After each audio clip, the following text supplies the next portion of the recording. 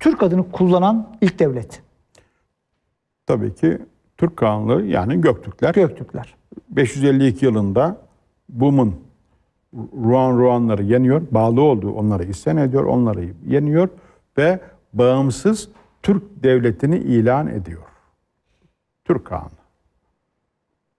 Tamam Peki öyle. Türk ismini kullanan ilk devlet Göktürkler. Ama bu eşittir Türklerin kurduğu ilk devlet anlamına da geliyor mu? Gelmiyor. Gelmiyor. Türklerin kurduğu Tabii. ilk devlet Türklerin kurduğu ilk devlet yani belirgin olarak Büyük Rum İmparatoru. Büyük Hun İmparatorluğu. Mesela İskitler konusu tartışılmalı bir konu. Hmm. Bence büyük kısmı Türk'tü ama tamamını Türk. Kimmerler. Hatta eskiye doğru gidebiliriz. İşte Anadolu'ya gelenler vesaire ama müşahhas olarak diyelim veya somut olarak gösterebileceğimiz tabii ki e, kurumsallarıyla her şeyle Büyük Hun İmparatorluğu. Peki Hun İmparatorluğu Türk. Hun ne demek? Hun insan demek. İnsan demek. Daha doğrusu halk demek. Halk. Halk demek pardon halk demek kün halk demek. Ee, orada mesela halk halkın bir araya gelmesi Türkçe bugün hala Moğolca'da insan anlamına Hun kelimesi kullanılıyor. Hala. Peki bu Çin kökenli hangi Bu, dilde? Bu muhtemelen Bu Türkçe mi, Moğolca mı, Çince mi? Kün kelimesi şeyce var. Yazıtlarda geçiyor. Kün. Hmm. Eski Türk metinlerinde var. Kün olarak geçiyor. Onda sıkıntı yok. Ee, Türkçe. Zaten Çin, Çinler az önce gösterdim ya Şonlu diyor. Şonlu. İki kelime, iki heceyle onu o, ifade etmeye çalışıyorlar vesaire. Peki o zaman şimdi biz ilk Türk devleti Hunlular. Türk kelimesini, Türk ifadesini kullanan ilk Türk devleti Göktürkler. Ama bir yandan da mesela Ergenekon destanı vardır. Ee, mesela bu, bu destan yine böyle mitolojik midir? Tarihle ilişkisi nedir? Ee, Evet, şeyi onunla, nedir? onunla ilgili bir Çince metin gösterelim mi? Lütfen, lütfen. Çünkü ay- ayrıca benim, Ergenekon'dan çıkış. e, benim okuduğum ilk e, Çince metin olduğu için e, 42 arkadaşlar. 42 Noğlu Arkadaşlar bakın. görsel. Hemen buldular, Evet. bravo. Buradan başlayabiliriz. Bu benim Çince öğrenirken aynı ilk okuduğum metindir. O yüzden de Öyle mi? aynı İlk, ya, manevi bir anlamı da var Manevi sizin için. anlamı da var. Bakın bu e, esasında bizim bildiğimiz Ergenekon Reşidettin'in Cami Tevari adlı eserinde geçer. Hmm. Yani Türk mitolojisi olarak odur. Kullanılan bugün işte böyle destan, efsane gibi gösterilen odur. Bugün ben mesela Ergenekon'un yerine benzer çok aradım da. Bir gün bulacağıma da inanıyorum. Daha bulamadım. Erge- Ergenekon'un yerini mesela. Öyle yerler var. Ama o tarihi Yani o belgelere çıkışın göre- olduğu Tabii. o Aynen öyle. efsaneni gerçek kılan Ama ben tarihi belge arıyorum tabii şeyde. Tabii. Şimdi bu e, mesele başlıyor ki emmet şeyden Tucuyeci Gay Şun Şun Nucu Biyejon Şin aşına. E, Hun, e, Türkler Hunların e, başka bir koludur. Hun şeyinden gelir. Soyadları, kabile adları Aşina'dır. Asena. Asena. Asena Ha, ismi. Aşina, Asena. Aslında doğrusu Aşina. Aşina. Ha, tabii Asena Fransa'dan. Yani yanlış- dişi kurt. Tabii. demek, değil mi? Yanlış okuma diyor. Daha sonra bakın e, aşınadır. E,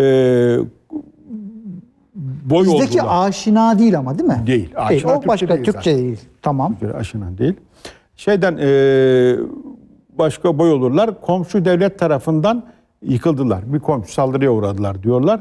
Diyor e, onların e, bütün şeyi yıkıldı. Bütün kabile öldü. Sadece 10 yaşında bir erkek çocuk kaldı. Askerler tabii Şısvey askerler onu öldürmeye kıyamadılar ve e, onun küçük olduğunu görünce kıyamadılar ve kollarını ayaklarını keserek bataklığın içine attılar. İyi ki kıyamamışlar. Kollarını ayaklarını keser. bir hakikaten, bataklığın evet. içine attılar. Ee, sı- ha, sağ diyor. Ba- Bataklığın içine birdenbire bir dişi kurt peyda oluyor. Onu e, Bataklıktan. e, tabii onu etle besliyor ve e, büyütüyor. Büyütünce onunla ilişki kuruyor. İşte o, tekrar hikaye bu şekilde sonra devam ediyor. E, o bilinen e, sonra aslında. gidiyor ve 10 çocuk doğuruyor kurt ve Türkler ondan geldi diyor. Yani tabii bu mümkün değil. E, Aşina da diyor bunların bir tanesi. Ama burada demircilik var bakın. Demircilik var, evet. Dağ kültü var, mağara var. Bir şekilde gidiyor. En orijinal metnin bu. Josh'un e, 50. bölümü. Biz buradan şunu Bu, da bu Türk biyografisi aslında. Türk bölümü. Türk bölümü e, şey olarak e, Türk bölümü buradan başlayarak Göktürklerin kuruluşuna kadar geliyor. Az önce sorun cevabı burada var. Yani Bumun Kağan'ın Ruan Ruanları yenerek bağımsız Türk Kağanlığını ilan edişi kendisinin ilk Kağan yani devletlu Kağan oluşunun tarihi burada anlatılıyor. Bozkurt efsanesi Şimdi Bozkurt efsanesi bu. tam budur. Tam bu. En orijinali bu. denen Ama Bozkurt bundan önce tam budur. bundan önce Kanlı dediğimiz boylarda. Kavuşları şeyde onlarda da kurtla ilgili motif, efsaneleri var. Bunun gibi değil. Bir kurt kullanılan bir sembol mü o zaman? Şimdi bundan dolayı e, Göktürklerin sembolü kurt. Ha Göktürklerin nerede kullanıyorlar? Sancaklarda mı? Sancak- Neydi? Sancakta san- kullanıyorlar. al- Kurtbaşı. Nasıl diyeyim? Altından kurtbaşı sancak kullanıyorlar. Ve buraya dayandırıyorlar aslında. Bu efsaneye Tabii. dayandırıyorlar.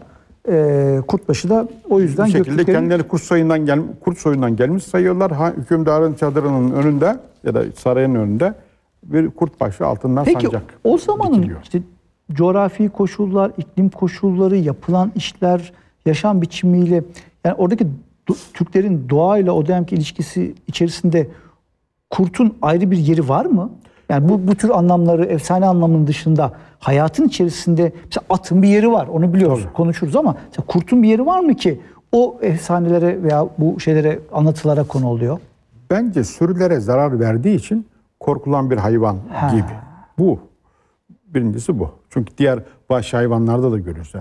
Pars da Türklerin kutsal hayvanlarından. Ki evet Pars. Buna benzer. Belki kurta göre daha Tabii, yaygın galiba tabii var. Pars. Ama mesela diğer metinlerde o diğer Ergenekon destanında stratejist yol gösterici olarak da gösteriliyor. Yani işte akıllı Çıkışı gösteren. Tabii yol gösteriyor ve birlikte hareket etmeye o liderliği vesaire birçok e, şeyde bünyesinde taşıyor.